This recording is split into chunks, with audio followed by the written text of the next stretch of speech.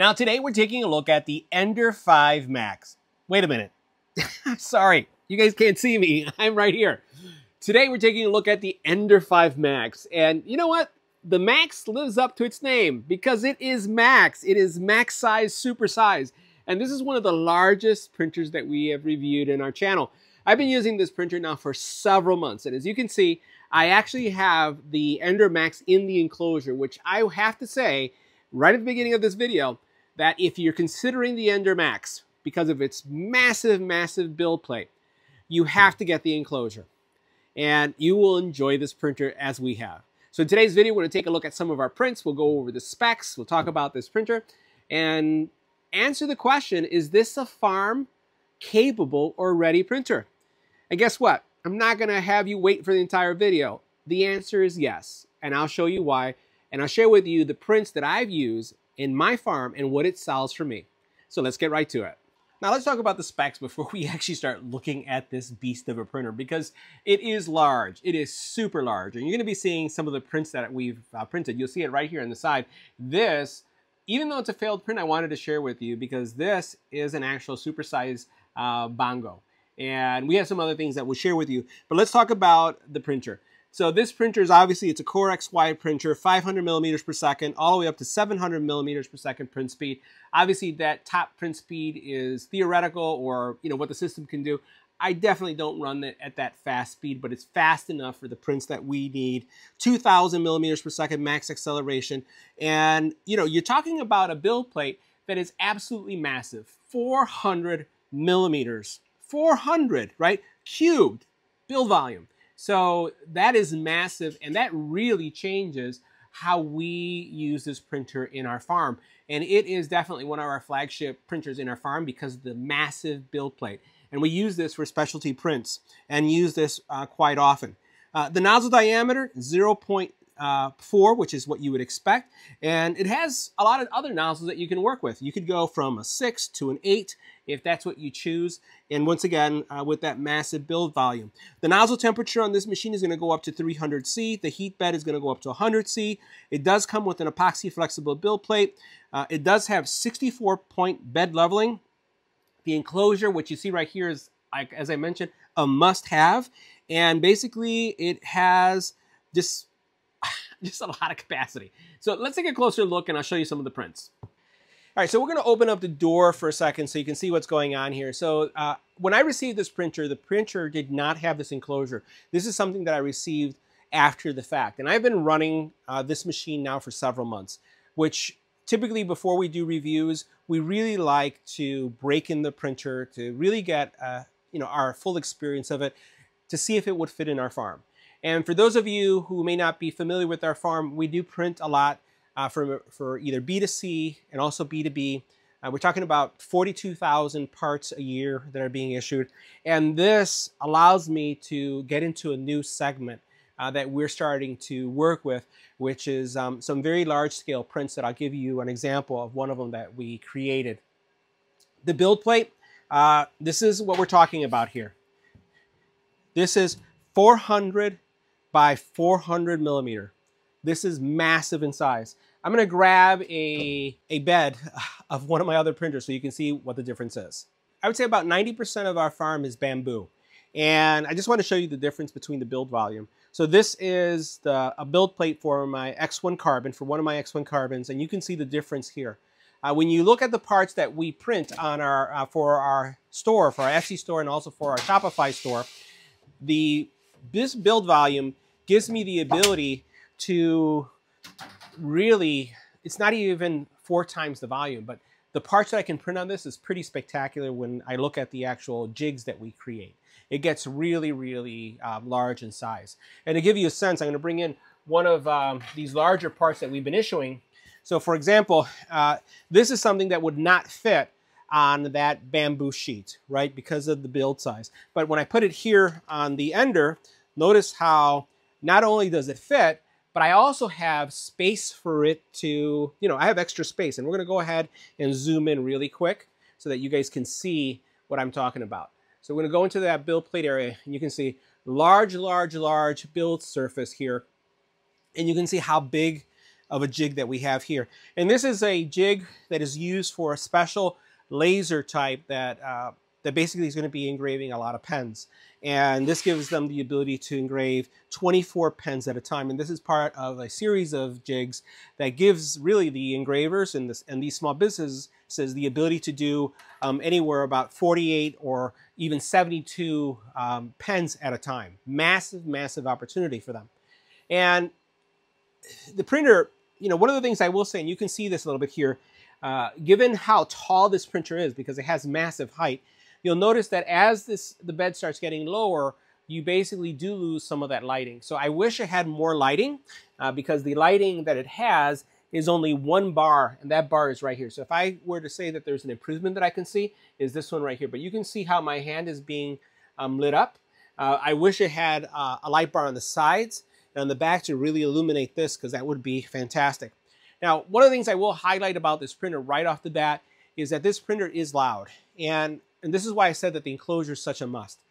Uh, the speed of this printer, you hear the zip, zip, zip, zip, as it goes back, back and forth uh, in the acceleration. The actual enclosure does a great job of dampening that sound. It reduces it greatly. The top that you that you that you saw a couple seconds ago. Let's go ahead and pan up there for a second. The top that you see right here is removable. So I can, if I'm printing PLA, I could just remove this, set it aside, and it's going to be open on the top. But what I have found myself doing more and more is keeping it closed because of the actual, uh, I would say, sound. It does dampen the sound quite a bit. So massive, uh, massive print area. And then just take a look at this, at this part. I just want to show you it. So this is, again, one of the uh, parts that we generate. Um, it's a pretty large piece of PLA, and this uh, we we sell a lot of these.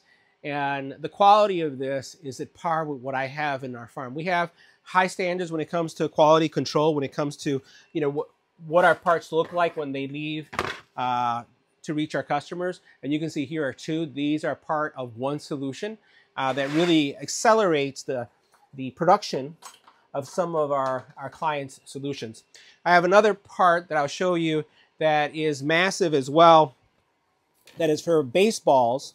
And this is a part that we print on, on this product as well. This is a, I'll put it here on camera so you guys can see it. This is uh, for UV printers. So we have several clients that have UV printers and are looking to be able to have jigs to really personalize and accelerate how they create products. And for example, this is a baseball jig. And you can see this is pretty large. This is going to work on, for example, a Mimaki. This could work on an Epson. This could work on a lot of the UV printers that are available on the market. And they need these large parts uh, because of the build plate size. And then here's another part that goes with this solution that is used for for aligning the graphics and then just making sure that things come out nice and, uh, and square. But all these parts are being printed on the actual uh, Ender 5 Max. Now, I'll say that one of the challenges that I find with the Ender 5, at least, I'd say challenge, um, something that I would have liked to see addressed, is that the Ender 5 only deals with one color. So you'll notice I have gray and I'm using black. I actually work with three primary colors, black, gray, and white. And if I want to switch, I have to basically change the roll, right? So I wish there was an AMS or a CFS solution for the Ender 5. We would definitely use it because we print so much.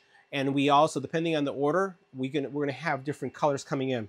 Uh, this build plate, outside of the size, and we talked a little bit about the size that we saw there, uh, this is, I really think that of the build plates that Creality has created, this is happens to be kind of my favorite.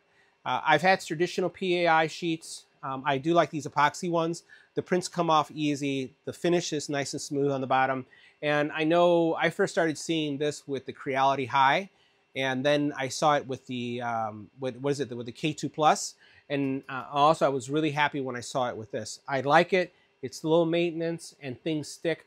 Uh, I don't use glue sticks at all. Matter of fact, in our entire production, there are no glue sticks allowed. I don't want the cleanup. I don't want the impact that it has to our parts and the value that we get.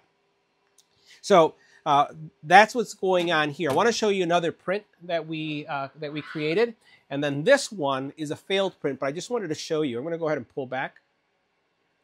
Uh, so this is one of our uh, prints. This was a giant bango, and it was doing incredibly well. So you see right here, nice layer lines. But then what ended up happening is I went from from uh, Creality, it was Hyper, let's see if I can get this right, Hyper PLA, then to a different brand. And I hadn't really uh, tuned that PLA, and you can see that this one was doing really well. And then when it switched, you can see how it got glossy, and I started getting some waves in it. So I know that it's because the PLA itself um, hadn't been tuned to the printer because uh, I ran out of the of the white from Creality. I also then printed uh, some other. This is a a, a stand for uh, golf balls, right? So we're doing a lot of golf balls lately, especially uh, with our UV printer, and we wanted to create this as a display. Uh, and you know, here's uh, this is what we use like when we take pictures of the golf balls, and we made this. We did run the traditional benchy, and I'll tell you, the printer didn't really do well with the Benchy, right? So this is what we have going on here. So if you look at the sides right here, this is pretty good, right? This was fine. But then here, I had a lot of defects, right? And to give you a sense also, and we'll show you this one right here, because this one, everything uh, seemed to be well, except the defect was in the same place. You can see how it looks, right? Arches are good. Um, detail is okay for the speed that we're going in. And top finish is fine but it's just this area here that was failing. Uh, we, uh, we run most of our shop on uh, Polymaker PLA. So this is uh, Polymaker Fossil PLA that we run. And if we don't run Polymaker, uh, we'll run maybe some Bambu filament at times, but that's what we run. And this is another part, or well, not a part. This is actually an accessory that I printed for our home. This is not something that we sell, but this is something that we use. And this was an eight hour print. This here, look, I just want you to see the detail and the overall finish of what we have here, right? It may have some stringing in there because I really haven't cleaned it off. I printed this last night. This is a towel holder, right? And look how beautiful this is. The finish here, the quality here, again, on this big guy, spectacular, right? And I could actually run, you know, just to show you, this is how much volume. If I wanted to just do these, look at how much space I have left. Look how much space. Look at this. I could do one, two, three, four, five, six, seven, eight, nine of these on there. And if you were running this on some of the smaller machines, you could only do one. And this did really, really well. The first layer is also really good. Look how nice those first layers are. So I really, really like that. I'm getting, because um, I have to tune this filament, you notice right here, I have some waviness right here. I probably I just did an upgrade on it. I may have to raise the bed just a little bit, but besides that, that is very passable. Uh, I want to show you this other print because I wanted to show you how easily supports come off. And we'll go ahead and show you this guy right here. So this is a model that I found online and obviously it's kind of like a gorilla. And I just want to show you this. Watch this. I'm going to start taking off all of these supports. And this is again using uh, Polymaker uh, PLA, right? And notice, you know, the, the and this guy inside is getting a little challenging. For the most part, all of these supports come off really easily, right? There's a lot of supports here, but you can see how they just snap off nicely. And as we look at the overall quality, I'll continue to pull this stuff off so you can see this. Look at how nice this is.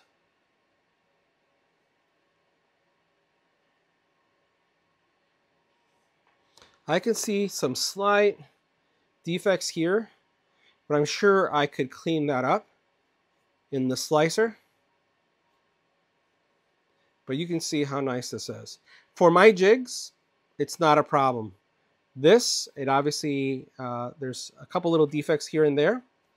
But this, I'm sure if I slowed it down a little bit and tweaked the profile a little bit, this would have come out even better. But for the most part, that's a pretty solid print right? Pretty solid print. The printer, again, we're going to go ahead and, and, start it up and we'll run one of the one of the uh, prints that we had on there. Is the operating system is traditional. It's very similar to what you would experience if you have a Creality product. And, and the one thing that stands out with this printer is going to be this light right here. When it's printing, it's green. When it's uh, this amber color, it's ready to work with. This is supposed to be designed for farms so that if you see all your printers in, in, on your rack and this one is green, you know it's printing. If, if it's changed color, it's supposed to indicate that it's done or it requires attention. And that's what you would get with something like this. Um, it's Wi-Fi and it does have a USB port. Um, in the inside, it does have the power switch, uh, but I typically don't turn off my machines unless I'm going to be cycling them. All right, so let's take a look at some of the menu options here so you can see what's going on. Um, I just upgraded the, the operating system on this and it did a full wipe. So there's a lot of, well, you don't have a lot of history. I don't have a lot of history on the machine anymore because of that wipe. And uh, so what's going on here is you immediately see what your temperature is for your nozzle, your bed. Uh, you do have on and off in the light and the fan. This does not have a camera system, but you can add a camera to it and it's very easy. Uh, and you'd be able to um, start monitoring things remotely.